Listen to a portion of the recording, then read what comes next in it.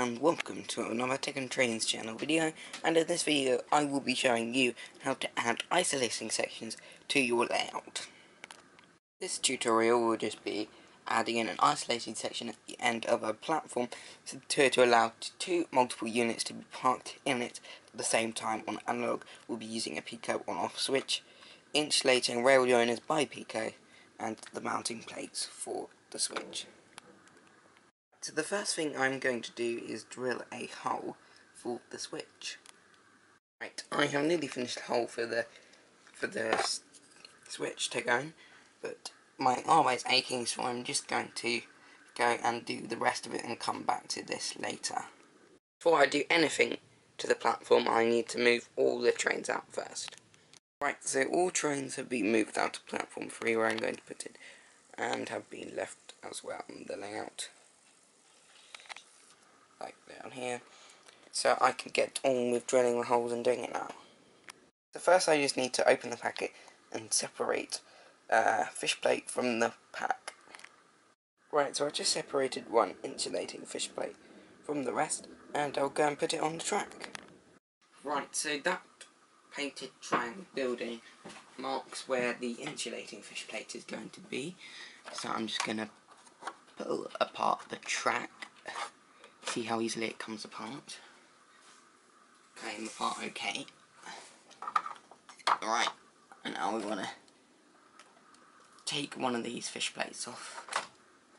Right, so you see, taking one off there.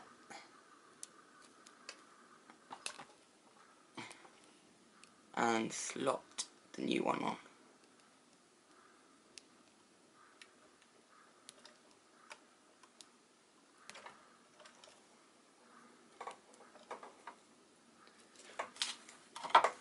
And then push the track back together.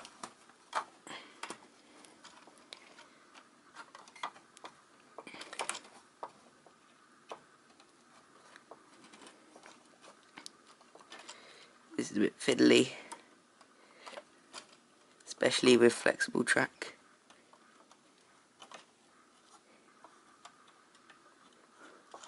One goes in, the other one comes out. out. just about done it now. I just need to push this one a bit in further. Right, and now that's done, you've got the isolating fish plate in, and now we're going to have to drill the hole. But first we've got to move another train on the platform next to it. Dependent. Right, so the next thing I'm going to do is drill the hole for the wires.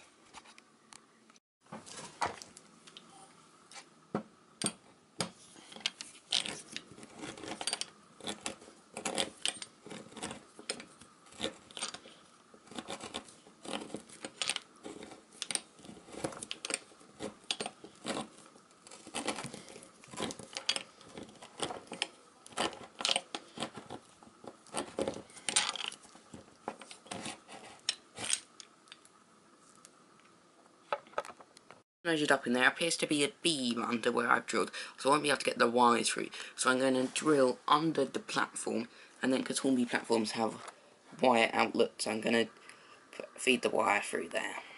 Right, so the hills are drilled, uh, so the hills are drilled, and I can start laying the wire. Right, so I just thread the wires through. We got blue wire for both, for both poles.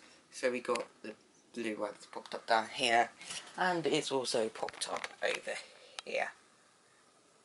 So now we can start to join everything up.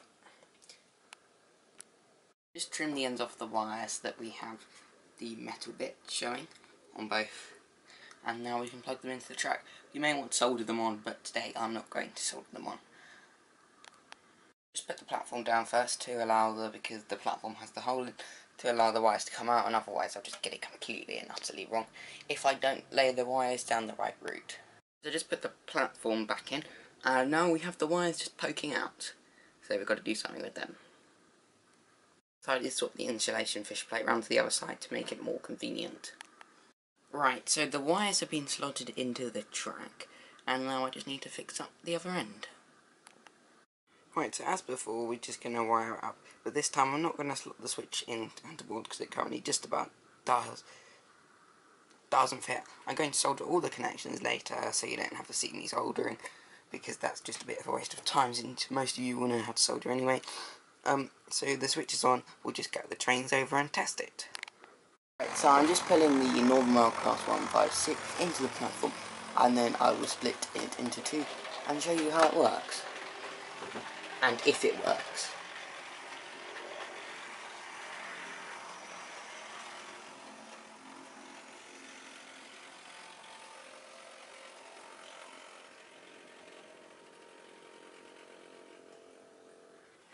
Right, so the class 156 is in the platform. So now is in platform 3A. So now if I flip the switch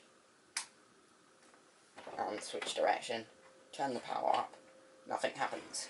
So it is all working now and then if I flip the switch again, turn the turn the power up, it can move. So that's all from me today. I hope you enjoyed this video. And please comment, like and subscribe and share your experiences with this on the comment section below.